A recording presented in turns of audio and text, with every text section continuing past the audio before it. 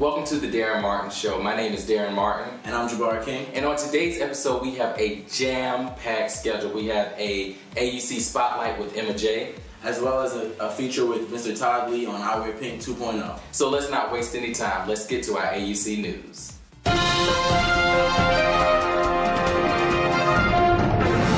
into the first week of April, and it is also AUC's 2015 Sophomore Week. This week, you can expect events such as a kickoff jam on Wednesday, a trip to Six Flags on Friday, a community service initiative on Saturday, and a trip to Cascade, as well as a praise fest on Sunday. This concludes our AUC news for the week. Stay tuned for the AUC Student Spotlight.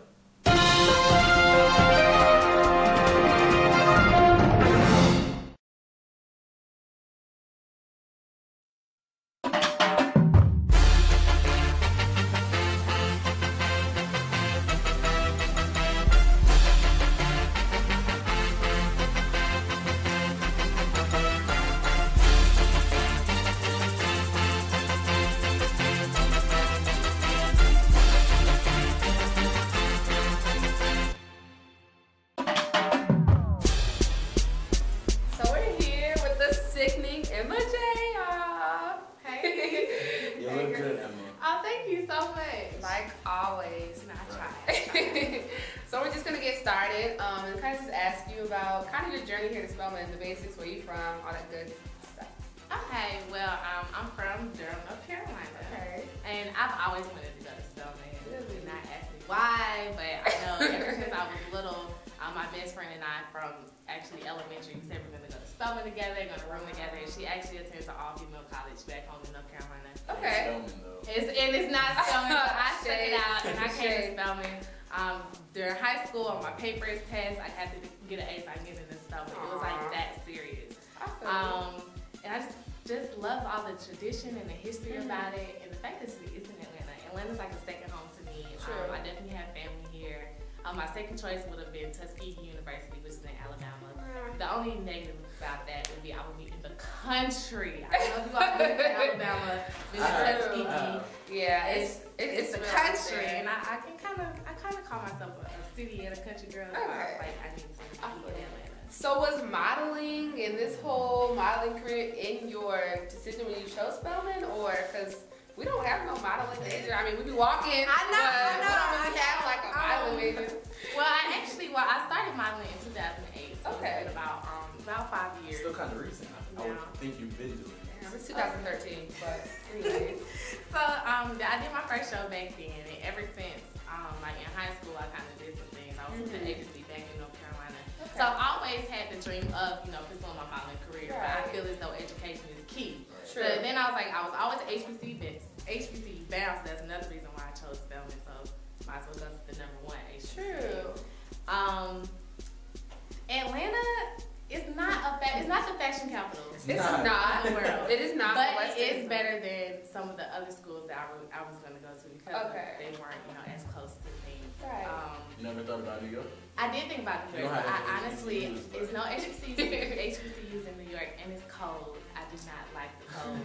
And in That's why I'm Atlanta. Atlanta, it has it has its ups and it has its downs, but it has my school, and then I have fashion. So there are a lot of fashion shows that Right. go on here in Atlanta. Okay, definitely. It's a lot of it's a lot more um you know more more black people here. True. That is very The true. Black Mecca? Yes, It is a black mecca. So it's it's fashion here. True. So Well, that's- speaking of Black Mec- Mecca, it looks like Atlanta brought you some really great opportunities with the Bailey Agency. You know, so just kind of tell us how that happened and how you got on board with them and just okay, how we saw you on TV randomly. Like, Real Housewives. Yeah, I was on the Real Housewives of Atlanta. I think it was the fourth season. Maybe, The, the not this pre- not this season, but the last season before it, I was on the season finale. Um, I actually the it was the first audition that I did actually come in here Okay. to Atlanta. It's so Wow. crazy. So I think it was August or September 2011. Um, people were texting me, calling me, hey, you need to go to this Bailey agency model call. Wow. Cynthia Bailey, is, Cynthia, Cynthia Bailey is down here um, searching for models. I attended this modeling call, they're recording. One of my big sisters is there um, just helping me out because I was 17 at the time, so Oh, I had wow. to have a, a legal guardian there. okay. And I get up there, I walk, and they love me, they love my body. So they say, you know, you won a scholarship to attend the Bailey Agency School of Fashion. So um, the next next year in January we started it. We started working with it, so we, we did it from probably about January to April, and then we actually graduated in August um, 2013, 2012. for. Gotcha. So that's how I've been doing. You know, Cool. So them. I guess bringing it for. uh, Sorry. I'm so. just a little curious. What is Cynthia like? Oh yeah. Miss Miss Cynthia is amazing, actually. Um, you know, t- I feel like TV, you have to act a certain way on TV, and we all know that it's you know reality TV. Right. It's, it's scripted. It might be the same reality, but it's it, it's also scripted. Right. Miss Cynthia is lovely. She's a down to earth person. She really there. She taught our classes one on one. So it wasn't like she just sent her assistants, who are lovely. I love them. It Right. wasn't like she just sent her assistants and people to come to teach her class. She's like, no, we have to move this class to this day because I'm not going to be here Wow. on Tuesday. We need to move it to next Tuesday because I'm going to be here. So Yeah. she she's she's nice. How often are your classes? Um, our classes were every Tuesday, so it, it was about maybe it was supposed to be for six weeks, fast forwarding today, to, I mean to today and now. So like, what do you have going on now? Are you still kind of working with the Bailey agency, um, indirectly, or like, so what, like, what? Um, right now we actually it was a it's actually a school of fashion, so Okay. it's not technically an agency just yet. But I think that are that are some things that's what she wants to do in the future. Um, so right now I do still do some things with them. If they have any casting calls, I'll go to it. I, I'm still I still kind of work with them because it's a connection. I believe you should always keep your connections. Right. Um, I actually have a show coming up for House of a Dream, which is off of Peter Street. That's Oh, wow. actually going to be next Saturday, March 30th. So Okay. that's going to be something coming up. And for this summer, I'm actually going to New York again and going to LA. So definitely chasing my She dream. better. Because this is something that I really want to do. Modeling is my passion. I love school and all, but I'm young in the industry. You have to get in while you're young because I can't Right. wait until I'm 22 trying to break into the industry. Mm, It happens for some, but that's like one out of a million. Exactly. So I wanna I wanna go now. I feel like school is always gonna be here, True. but this modeling opportunity isn't because of the age that's so and things true. You're of that definitely on nature. a good path. It looks like. Yeah, I'm, I'm really excited. And I, you're from New York, I am. so are you gonna be there this summer? I'm gonna be in LA. LA. I don't know if I'm gonna be there at the same Turn up. I know, but I'm, I'm gonna let you know when I'm there, and then we might get And it won't be together. cold. It won't be cold. It so won't don't be worry cold in LA, it. so that's New York is beautiful like in the summer. Definitely, There we go. definitely. And also, y'all can be looking out for Emma as the host um, of the 2015 awards. Y'all- definitely it's a surprise. She's like just now finding out So right she's now. She's a student. She's a model. She's a. She's a host. She's She gonna walk out to the 2015 awards looking bad and sickly like Of course, always. yeah, I can't wear this fur. Oh goodness. I can't. All right. Well, it was nice talking to you. It was, Julia. I, I, I love you all. Thank Definitely. you so I much. you, I just I just felt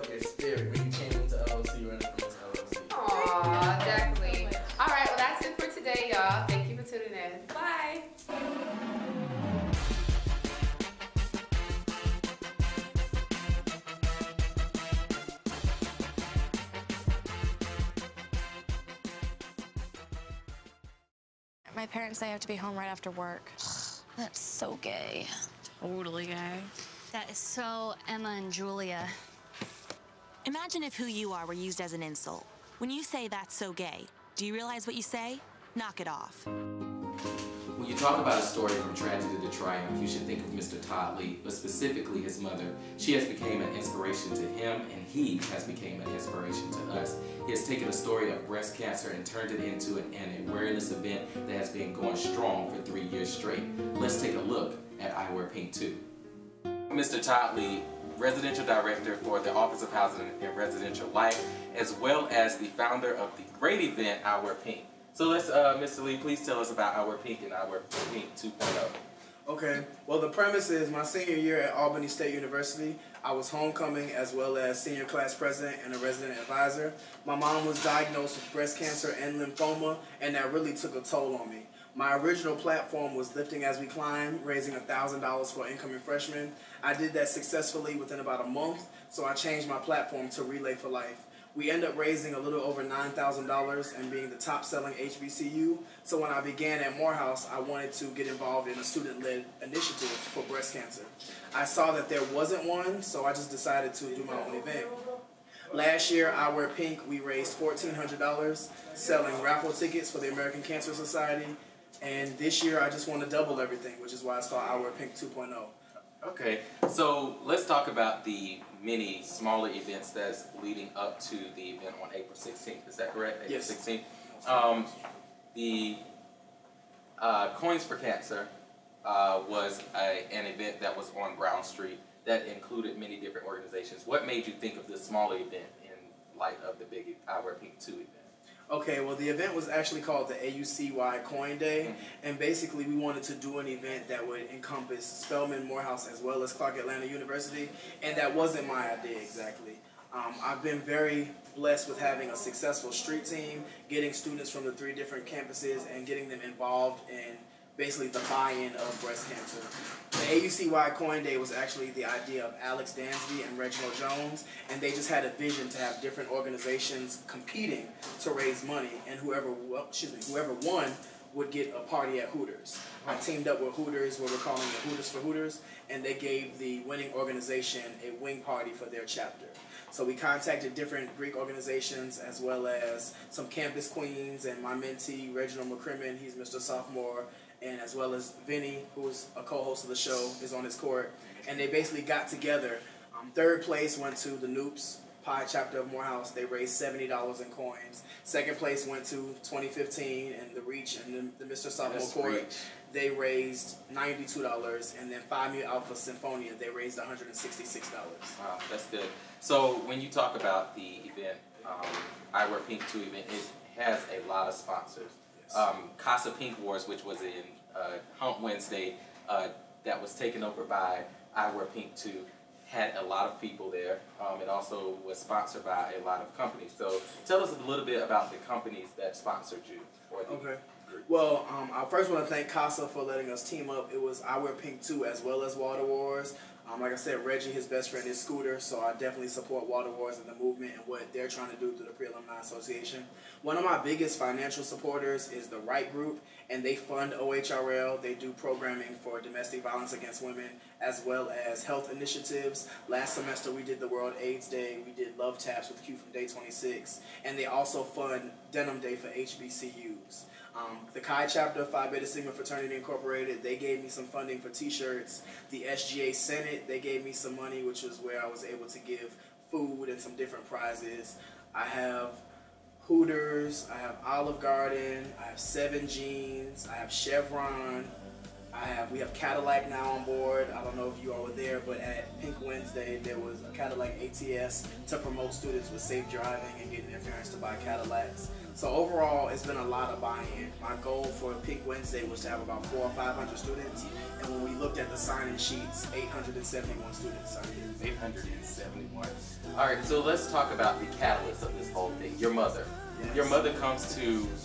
Made, uh, uh, she was at the Casa Pink Wars, what, what, I'm, I'm pretty sure I know that she's ha- uh, happy and she's so proud of you. But what does uh, does she say to you sometimes when you're doing this on a bigger scale from you know your uh, senior year in college to now? You sustained it for so long. What does she say? Um, my mom, she doesn't say much about the events. She tells me a lot of times how she's proud of me, but honestly, like my mother is the prototype Like I tell people that all the time. Like my mother is the most genuine person I've ever met. She's the most humble person I've ever met. She's just like my mother is the most amazing person I've ever met. So I feel like for her to give her life up for me, she had me when she was in high school. Um, I'm sure there was a lot of things that she wanted to do.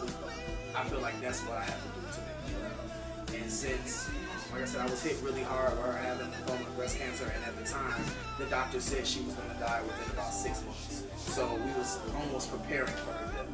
So I just really, the fact that she's still here and I can take pictures with her, the fact that she could come to Pink Wednesday, the fact that, you know, I didn't have to adopt my little sisters and brothers, that's pretty much the driving force. And I think that she's an inspiration to you, but as, as us as well, especially seeing her at many different events and uh, seeing her overcome and seeing how proud you are of your mother and that.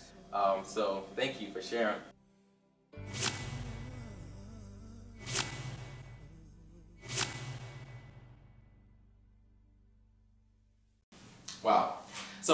That you learned a lot about our Pink 2.0 and you support Mr. Todd Lee and his mother. And I hope that you learned more about Emma J and how she's making strides towards her career at such a young age. So you can use you can see all episodes of the Darren Martin Show as well as full interviews at youtube.com slash user slash the Darren Martin Show. Thank you and have a great day.